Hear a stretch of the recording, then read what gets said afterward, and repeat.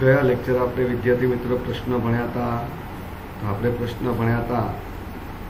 માંગની મૂલ્ય સાપેક્ષતા સેમ એવી રીતે વિદ્યાર્થી મિત્રો, આજે નવો પ્રશ્ન જે છે, એ નવો પ્રશ્ન છે માંગની આવક સાપેક્ષતા.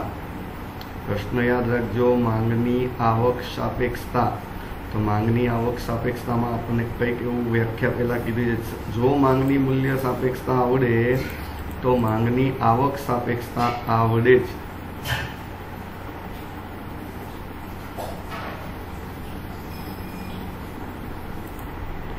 ચલ.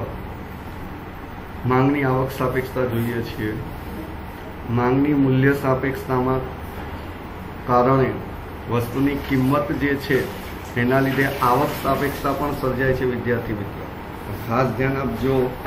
કે જેમ માંગની મૂલ્ય સાપેક્ષતા હોય એ કિંમતને આધારે સર્જાય એમ માંગની આવક સાપેક્ષતા કોને લીધે સર્જાય? આવકને લીધે. ફરીથી ધ્યાન આપજો. માંગની મૂલ્ય સાપેક્ષતામાં વસ્તુની કિંમત અસર કરે છે. જ્યારે ગ્રાહકરૂપી વ્યક્તિની આવક સાપેક્ષતા, આવક સાપેક્ષતાના વ્યક્તિની આવક અસર કરે છે. જેમ તમે જો કિંમત વધે કે ઘટે, એના લીધે માંગની મૂલ્ય સાપેક્ષતા સર્જાતી હતી. એમ આવકમાં વધારો, ઘટાડો થાય? તો એના લીધે તમે જો માંગની આવક સાપેક્ષતા સર્જાય છે. માંગની આવક સાપેક્ષતાનું સૂત્ર, તો આપણે જે કીધું હતું મૂલ્ય સાપેક્ષતાનું સૂત્ર, બરાબર? જેમ આપણે માંગની મૂલ્ય સાપેક્ષતામાં, જેમ વસ્તુની માંગમાં થતો ટકાવારી ફેરફાર જોતા હતા, અને છેદમાં શું હતું? વસ્તુની કિંમતમાં થતો ટકાવારી ફેરફાર. ક્યાં? માંગની મૂલ્ય સાપેક્ષતામાં. એની સરખામણીમાં આની અંદર હવે વ્યક્તિની આવક આવી જાય. તમને જો અંદર સૂત્ર આપેલું જ છે, માંગની આવક સાપેક્ષતા બરાબર વસ્તુની માંગમાં થતો ટકાવારી ફેરફાર, છેદમાં વસ્તુની કિંમતમાં થતો ટકાવારી ફેરફારની જગ્યાએ શબ્દ કયો લાગી ગયો? વ્યક્તિની આવકમાં થતો ટકાવારી ફેરફાર. એટલે તમે જો એના ઉપરથી વ્યાખ્યા બની છે કે વ્યક્તિની આવકમાં આવકના ટકાવારી ફેરફાર અને માંગમાં થતા ટકાવારી ફેરફાર. ના ગુણોત્તરના માપને, ના ગુણોત્તરને માંગની આવક સાપેક્ષતા કહે છે. કદાચ જો આ વ્યાખ્યા ન લખવી હોય, તો આપણે આ રીતે પણ વ્યાખ્યા લખી શકાય કે વસ્તુની માંગમાં થતો ટકાવારી ફેરફાર. વસ્તુની માંગમાં થતો ટકાવારી ફેરફાર. છેદમાં વસ્તુની એટલે વ્યક્તિની આવકમાં થતો ટકાવારી ફેરફાર. બરાબર? આ બંનેના ભાગાકારને એટલે એવું લખી શકાય. વસ્તુની માંગમાં થતા ટકાવારી ફેરફારને વ્યક્તિની આવકમાં થતા ટકાવારી ફેરફાર વડે ભાગતા, મળતા માપને માંગની મૂલ્ય સાપેક્ષતા કહે છે. ચલો, વિદ્યાર્થી મિત્રો હા, આપણે અહીંયા વ્યાખ્યા બંનેની પૂરી ટોટલ આપણે બે વ્યાખ્યા કીધી. પણ બે વ્યાખ્યા જોતા પહેલાં ફરીથી હું શું બોલ્યો? કે માંગની મૂલ્ય સાપેક્ષતામાં કિંમત જે વધતી હતી, ઘટતી હતી, એના લીધે માંગની મૂલ્ય સાપેક્ષતા સર્જાતી હતી. એવી રીતે માંગ માંગની આવક સાપેક્ષતામાં ગ્રાહકની આવક અને ગ્રાહકની આવકમાં વધારો ઘટાડો, બરાબર, એના લીધે આવક સાપેક્ષતા સર્જાય છે. આ ઉપરાંત આપણે એવું કીધું, બે વ્યાખ્યા, પછી કીધું સૂત્ર. ચલો, ઝડપથી આટલું વાંચી નાખો. બરાબર? પછી હવે જોઈએ છે એના રૂડા અને રૂપાળા. પ્રકારો. ચલો, ફટાફટ વાંચો.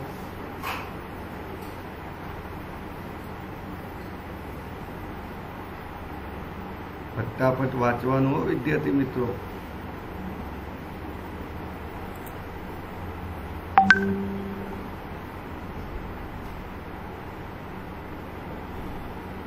ચલો વચાઈ ગયું હોય તો વિદ્યાર્થી મિત્રો, હવે જોઈએ છે આપણે માંગની આવક સાપેક્ષતા. ચલો, માંગની આવક સાપેક્ષતા. તો એ પેલા સૂત્ર યાદ રાખજો. સૂત્ર છે, વસ્તુની માંગમાં થતો ટકાવારી ફેરફાર છેદમાં. વ્યક્તિની આવકમાં થતો ટકાવારી ફેરફાર. ચલો, હવે ધ્યાન આપજો માંગની આવક સાપેક્ષતાના પ્રકારો. તો પ્રકારો મુખ્ય ત્રણ છે. મુખ્ય કેટલા? ત્રણ. કયા કયા? તો પહેલું જ આપ્યું છે, જો, હકારાત્મક. હકારાત્મકનું બીજું નામ, ધન, આવક, સાપેક્ષ, માંગ. બીજું છે નીચે આપેલું છે, નકારાત્મક. નકારાત્મકનું બીજું નામ. તો નકારાત્મકનું બીજું નામ છે, તો આપણને ખબર જ હોવી જોઈએ, નકારાત્મકનું બીજું નામ. ઋણ. આવક સાપેક્ષ માંગ. ત્રીજું આપણને કીધું છે શૂન્ય આવક સાપેક્ષમાં ટોટલ કેટલા પ્રકાર થયા વિદ્યાર્થી મિત્ર? તો યાદ રાખજો, ત્રણ. કયા કયા? હકારાત્મક. જેને કીધું છે ધન આવક સાપેક્ષમાં બીજું, નકારાત્મક. જેને કીધું છે ઋણ આવક સાપેક્ષમાં અને ત્રીજું કીધું છે શૂન્ય આવક સાપેક્ષમાં. ચલો વિદ્યાર્થી મિત્ર, એમાંય પાછું હકારાત્મક એટલે કે ધન આવક સાપેક્ષ માંગની અંદર પણ ત્રણ ભાગ પડે છે. એકમ આવક સાપેક્ષ માંગ પહેલું શું કીધું છે? એકમ આવક સાપેક્ષ માંગ, જેને કૌંસની અંદર કીધું છે ઈ વાય. યાદ રાખજો, E Y, E વાયનું full form elasticity of yield. Y એટલે યીલ્ડ યીલ્ડ એટલે આવક જે આપણે આગળ કીધું હતું માંગ વિધેય ભણ્યા હતા પુરવઠા વિધેય ભણ્યા હતા એની અંદર આવ્યું હતું બરાબર? ઈ વાય વાય એટલે યાદ રાખજો, yield. Y, E, I, L, D. Yield એટલે આવક અને અહીંયા એવું કીધું છે, એકમ આવક એકમ એટલે સપ્રમાણ. આપણે કીધું હતું સપ્રમાણ, સરખું. એટલે ઈ વાય બરાબર એક. જે આપણો પ્રકાર હતો, શું હતો, મૂલ્ય સાપેક્ષતામાં, તો માંગની મૂલ્ય સાપેક્ષતામાં આ પ્રકારનું નામ આપણે આવું આપ્યું હતું, સપ્રમાણ મૂલ્ય સાપેક્ષમાં. કારણ કે એનો આવો જ હતો. પણ ત્યાં શું હતું? પી હતું. ઇલાસ્ટિસિટી ઓફ પ્રાઇસ પી એટલે પ્રાઇસ કારણ કે કિંમતથી અસર થાય છે. આવકથી અસર થાય એટલે વાય બરાબર એક પછી એવું કીધું છે, જો બીજો પ્રકાર આપણને એવું કીધું એકમથી વધુ આવક સાપેક્ષ માંગ. તો એકમથી વધુ જેને આપણે શું કીધું હતું મૂલ્ય સાપેક્ષ માંગ. જેને કીધું હતું બરાબર? માંગની મૂલ્ય સાપેક્ષ માંગમાં આપણે શું કીધું હતું એમાં આવું કંઈક કીધું હતું કે ઈપી ગ્રેટર ધેન વન અહીંયા આવ્યું E Y greater than one યાદ રાખજો, આપણો જે ત્રીજો પ્રકાર હતો ને માંગની મૂલ્ય સાપેક્ષતામાં, એ આમાં પહેલો છે. એટલે કે એ છે. ઓલામાં બીજ પહેલો હતો, એ આમાં કયો છે? બી છે. અને ઓલામાં બીજો હતો, એ આમાં સી છે. હું એનું એ જ છે. બાકી કોઈ જ ચેન્જ નથી. વ્યાખ્યામાં આપણે હમણાં જો જ્યાં કિંમત હતી, ત્યાં અહીંયા આવક શબ્દ લાગશે. ચલો, પહેલાં તો વિદ્યાર્થી મિત્રો, ફરીથી ટોટલ પ્રકાર કેટલા? ત્રણ કયા કયા? હકારાત્મક જેને કીધું છે, ધન, આવક, સાપેક્ષ, માંગ. બીજું, નકારાત્મક એટલે કે ઋણ, આવક, સાપેક્ષ, માંગ. ત્રીજું, શૂન્ય, આવક, સાપેક્ષ, માંગ. હકારાત્મકની અંદર પાછા ત્રણ કીધા. એકમ, આવક, સાપેક્ષ, માંગ. એકમથી વધુ આવક, સાપેક્ષ, માંગ. એકમથી ઓછી આવક સાપેક્ષ માંગ. થી ઓછી એટલે ઈ વાય લેસ ધેન વનથી વધુ E Y greater than one એકમ બરાબર લખો તોય ચાલે. એકમ બરાબર આવક સાપેક્ષ માંગ એટલે ઈ વાય બરાબર એક. ચલો વિદ્યાર્થી મિત્રો, આટલું ઝડપથી વાંચી નાખો. હાલો હાલો હાલો. અને ફટાનું ફટ વાંચવાનું. કેમ જેટલું તમે ઝડપથી વાંચશો, એટલો આપણે આગળ નવો પ્રશ્ન ઝડપથી પહોંચીશું. અને ઝડપથી નવા પ્રશ્નએ પહોંચીશું, એટલો તમારે ઝડપથી ફાયદો થશે.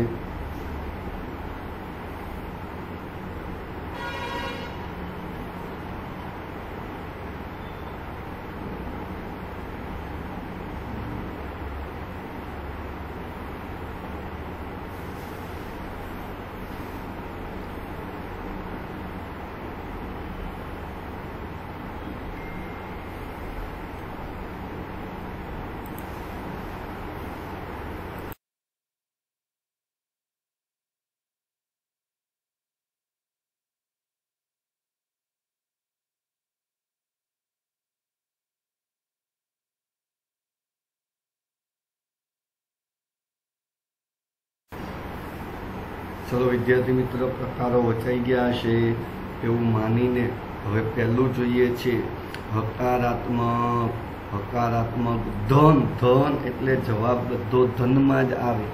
જો એની અંદર કે એવું કીધેલું છે કે ગ્રાહક રૂપ વ્યક્તિની આવકમાં વધારો થતા, ત્યારે વ્યક્તિની આવકમાં વધારો થતા, વસ્તુની માંગમાં પણ શું થાય? વધારો થાય. આપણને ખબર છે. જો આપણા પપ્પાની આવક વધે અને એના લીધે આપણે માંગમાં વધારો કરીએ, એવી રીતે અથવા આપણા પપ્પાની આવક ઘટે અને એને લીધે આપણે માંગમાં ઘટાડો કરીએ છીએ, તો એને શું કહેવામાં આવે છે? તો વસ્તુની માંગ હકારાત્મક એટલે કે ધન આવક સાપેક્ષ માન કહે છે. ફરીથી યાદ રાખજો, ગ્રાહક રૂપી વ્યક્તિની આવકમાં વધારો થાય, આવકમાં વધારો થાય, તો માંગમાં વધારો થાય. અથવા આવકમાં ઘટાડો થાય, તો વસ્તુની માંગમાં પણ ઘટાડો થાય. તો તેવી વસ્તુની માંગને હકારાત્મક આવક સાપેક્ષ માંગ કહે છે. હવે એની અંદર પાછા ત્રણ ભાગ પડ્યા હતા. એકમ આવક સાપેક્ષ માંગ. તો એના માટે વિદ્યાર્થી મિત્ર યાદ કરીએ, આપણું સૂત્ર હમણાં કીધું હતું ને? શું હતું સૂત્ર વસ્તુની માંગમાં થતો ટકાવારી ફેરફાર છેદમાં વ્યક્તિની આવકમાં થતો ટકાવારી ફેરફાર ચલો એના ઉપરથી આપણે ત્રણ પ્રકારોમાં જોઈએ. બધામાં વ્યાખ્યા ક્યાંથી શરૂ થાય? નીચેથી. જો, નીચેથી એમાં પહેલા પ્રકારમાં કંઈક કીધું છે કે વ્યક્તિની આવકમાં થતો ટકાવારી ફેરફાર અને અને શબ્દ લાગ્યો. વસ્તુની માંગમાં થતો ટકાવારી ફેરફાર. બંને કેવા હોય? એક સમાન એક સમાન એટલે એક સરખા હોય. તો ત્યારે એને શું કહેવાય? એકમ, બરાબર, આવક, સાપેક્ષ, માંગ. યાદ રાખજો, બંને સરખા હોય. ત્યારે જ એને કહેવાય એકમ, બરાબર, આવક, સાપેક્ષ, માંગ. એવી રીતે તમે જો બીમાં જો એકમથી વધુ થી વધુ, થી વધુમાં જો અંદર કીધું છે, પાછી વ્યાખ્યાની શબ્દ નીચેથી, સૂત્રમાં નીચેથી જ શરૂ થયા કે વ્યક્તિની આવકમાં થતો ફેરફાર.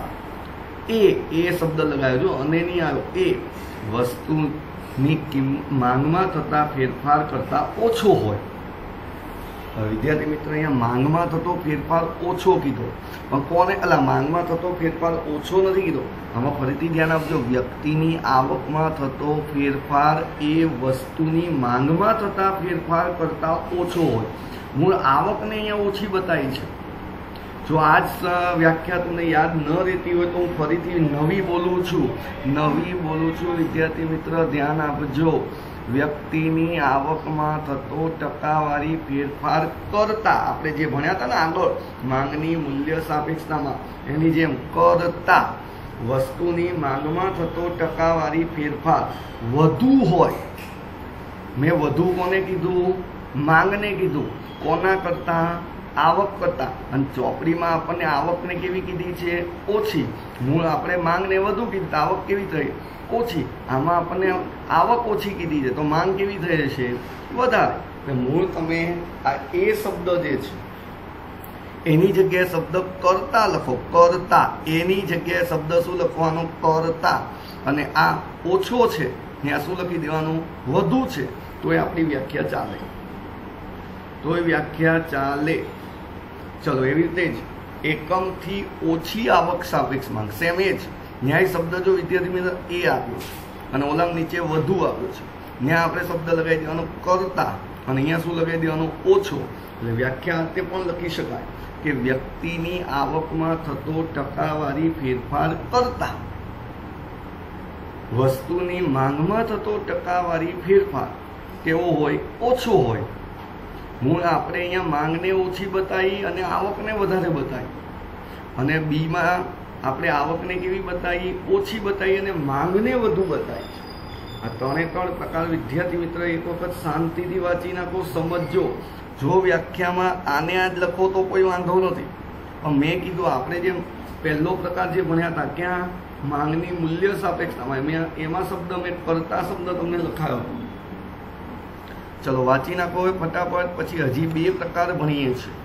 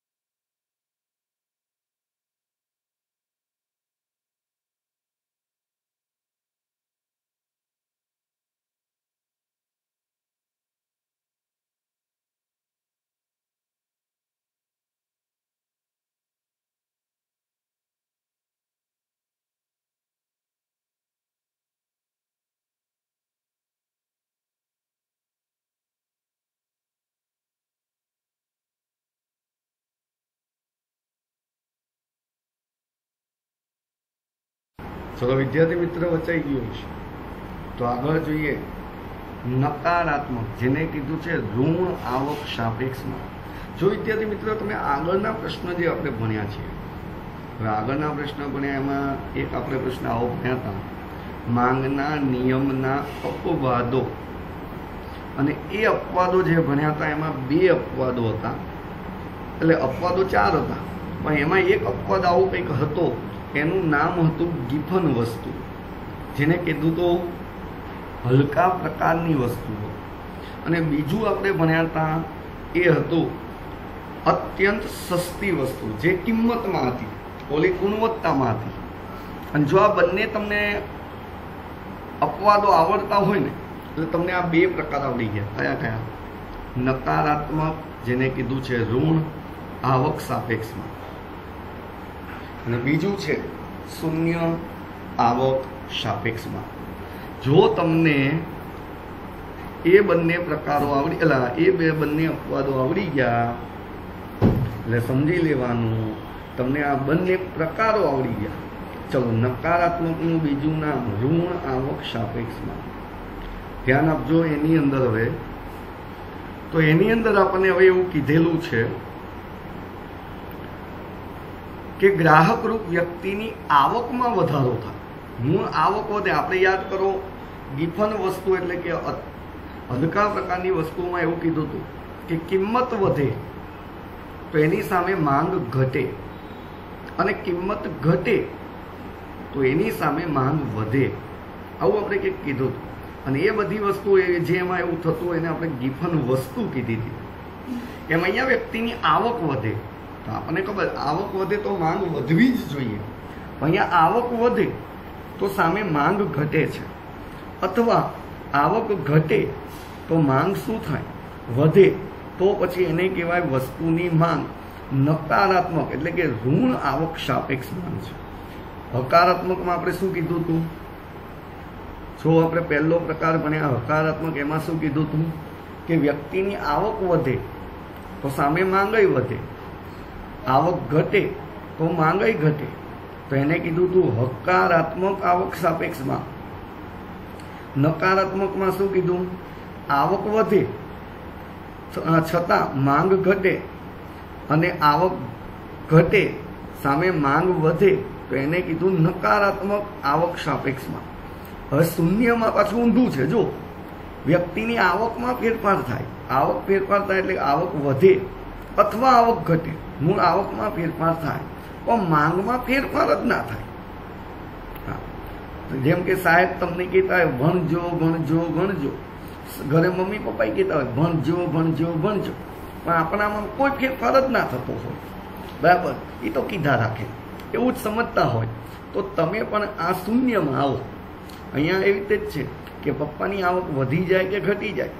સામે માંગ આપણે એટલી ને એટલી જ કરીએ છીએ. તો પછી આપણી માંગ શૂન્ય આવક સાપેક્ષ માંગ કહેવાય. હવે આપણે નકારાત્મકની વાત કરતા હતા નકારાત્મકમાં આપણને એવું કીધું છે કે આવી વસ્તુઓ જે છે એને હલકા પ્રકારની હોય, એને તમે જો આવક અસર નકારાત્મક હોય છે. હલકા પ્રકારની વસ્તુ એટલે નિમ્ન ગુણવત્તાવાળી. અને આ ખ્યાલ કોણે આપ્યો હતો તો આપણે કીધું હતું પ્રોફેસર સર રોબર્ટ ગિફને, જેણે આ ગિફન વસ્તુઓનો ખ્યાલ આપેલો છે. જેમ કે તમે જો બાજરી, કોદરી, બરછટ કાપડ, પામોલીન, તેલ, વનસ્પતિ ઘી. હવે વિદ્યાર્થી મિત્રો, અહીંયા કોદરી આવ્યો છે. કોદરી શબ્દ એટલે કોદાળી ના સમજતા છે. ઘણા લોકો આવું કે કોદરી એટલે કોદાળી. કોદાળી નહીં, એક જાતના હલકા પ્રકારનું અનાજ. જેને આપણે કહીએ આમ તો હલકા પ્રકારના ચોખા. જેમ કે તમે જો ચોખાને તમે ઘરે કદાચ આ નામથી ઓળખતા હોય તો. બરાબર જેને કહેવામાં આવે છે કટ કણકી કણકી શબ્દ તરીકે ઓળખવામાં આવે છે. કણકી એટલે ચોખાના ટુકડા. અને એ ચોખાના ટુકડા જે છે ક્યાંય કામમાં ના આવતા, ખાલી ખીચડી બનાવવા માટે જ કામમાં આવે. બરાબર, એને કહેવાય ખીચડી યા ચોખા એક ના, આમ તો કણકી જ કહેવાય છે. હા યાદ રાખજો પછી બીજા શબ્દમાં કહેવાતો જ મને ખબર નથી, પણ કણકી કહેવાય છે, આટલું યાદ રાખો. એ હલકા પ્રકારના, એને કોઈ ખાય નહીં જલ્દી. એ ક્યારેક જ ઉપયોગમાં લેવાય. બાજરી, તમે જો આપણે બારે માસ નથી ખાતા, બારે માસ ઘઉં જ ખાઈ બરછટ કાપડ, હલકા પ્રકારનું કાપડ, પામોલિન તેલ, વનસ્પતિ ઘી, આ બધી વસ્તુઓ હલકા પ્રકારની છે, નિમ્ન ગુણવત્તાવાળી વસ્તુઓ છે. બરાબર? જ્યારે આપણે ઘરે આવક ઘટે ને, આવક જ્યારે ઘટે, ઘરની આવક ઘટે એટલે પછી ધીમે ધીમે પછી આપણે આવું ખાવાનું ચાલુ કરીએ. જેમ આપણી આવક વધે એટલે આ ખાવાનું બધું હું કરી દઈએ. બંધ આની કરતાં સારી વસ્તુ ખાઈએ છીએ.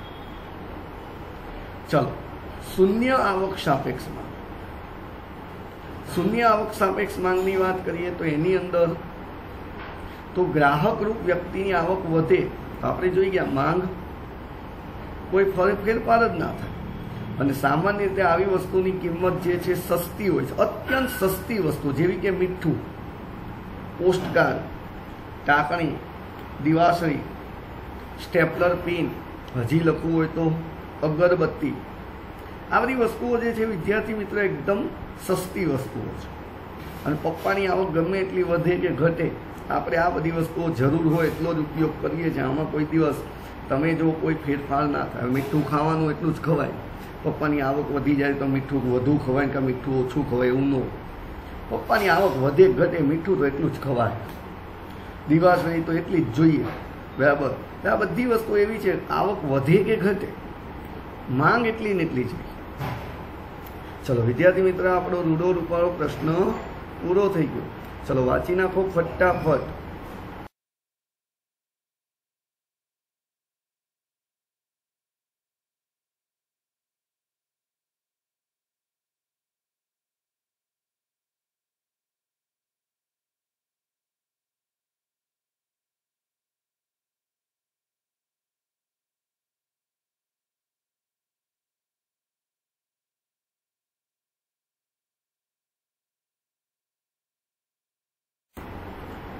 ચલો, વિદ્યાર્થી મિત્ર, વચાઈ ગયો. ફરીથી એક વખત આગળના પ્રશ્નને રિવિઝન કરીએ છીએ. આપણે શું ભણ્યા હતા આની અંદર? તો પહેલો પ્રશ્ન હતો આપણો, તો આવક સાપેક્ષતા. માંગની આવક સાપેક્ષતા. એમાં શું જોયું? તો માંગની મૂલ્ય સાપેક્ષતા કિંમતથી અસર થાય છે. સામે આવક સાપેક્ષતા આવકથી અસર થાય છે.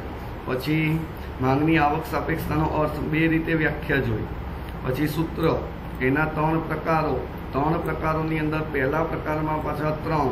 બરાબર? છ. આ આપણે જોઈ ગયા પછી હવે વાત કરીએ આગળ.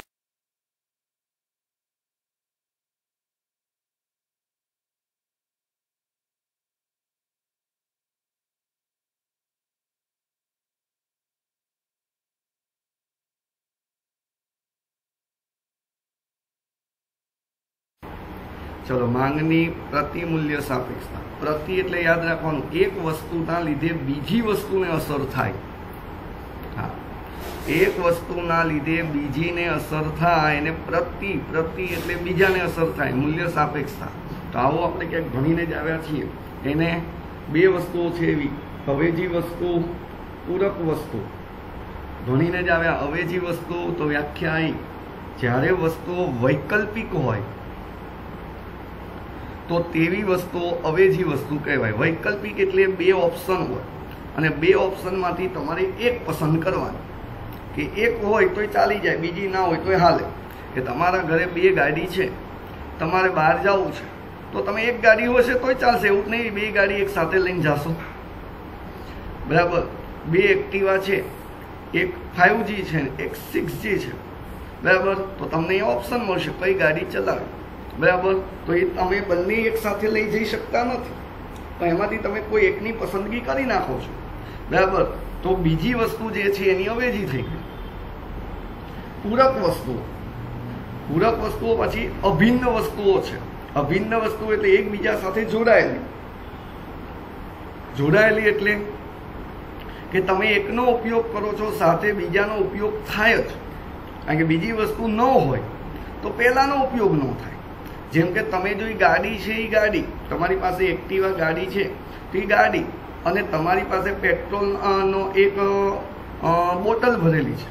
તો તમારે બંનેની જરૂર પડે. કેમ? કે ગાડી, ગાડીમાં તમે પેટ્રોલ નાખશો તો જ ગાડી ચાલુ થશે. નગર ગાડી ચાલુ થશે નહીં. હા? એટલે તમે જો પેટ્રોલ અને સ્કૂટર આપણે ગાડી લઈએ છીએ, ચલો. તો ગાડી અને પેટ્રોલ બંને વચ્ચે અભિન્ન સંબંધ છે. બંનેને અલગ ના કરી શકાય.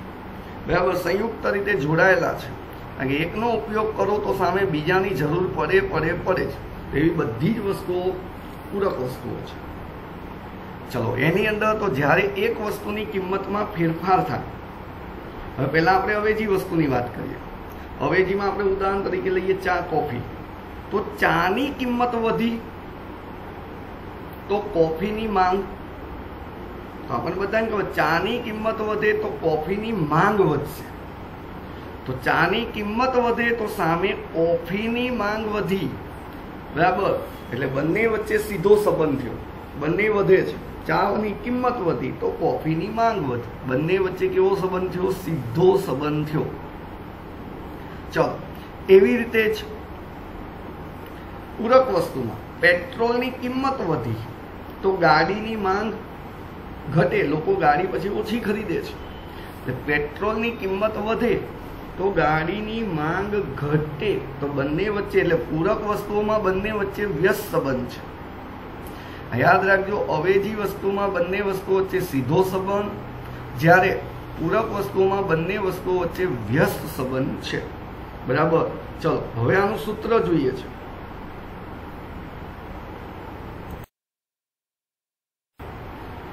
ચલો સૂત્રમાં આપણને એવું કંઈક કીધેલું છે. તો એક્સ વસ્તુની માંગમાં થતો ટકાવારી પ્રતિ હોય એટલે બે વસ્તુ આવે મેં કીધું હતું. તો સામે બંનેમાં તમે જોયું આપણું સૂત્ર એનું એક છે, માંગમાં થતો ટકાવારી ફેરફાર, છેદમાં કિંમતમાં થતો ટકાવારી ફેરફાર.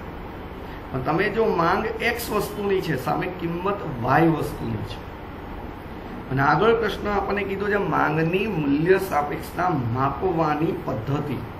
આમાંથી એક જ માર્ક્સનો પ્રશ્ન પૂછાય છે કે માંગની મૂલ્ય સાપેક્ષતા માપવાની પદ્ધતિ કેટલી છે? કઈ કઈ તો ત્રણ પદ્ધતિ છે. ત્રણ પદ્ધતિઓના નામ યાદ રાખજો. પહેલી ગુણોત્તરની રીત, બીજી કુલ ખર્ચની રીત, ત્રીજી ભૌમિતિક રીત. ફરીથી પહેલી ગુણોત્તરની રીત, બીજી કુલ ખર્ચની રીત અને ત્રીજી ભૌમિતિક રીત. યાદ રાખજો, માંગની મૂલ્ય સાપેક્ષતા માપવાની પદ્ધતિઓ કેટલી છે? ત્રણ. કઈ કઈ? ગુણોત્તરની રીત, કુલ ખર્ચની રીત, ભૌમિતિક રીત. માંગની પ્રતિ મૂલ્ય સાપેક્ષતામાં મેં કીધું, બે વસ્તુ આપે એકની કિંમત હોય તો બીજાની માંગ હોય. સૂત્ર તો એનું એ જ છે કે માંગમાં થતો ટકાવારી ફેરફાર, છેદમાં કિંમતમાં થતો ટકાવારી ફેરફાર.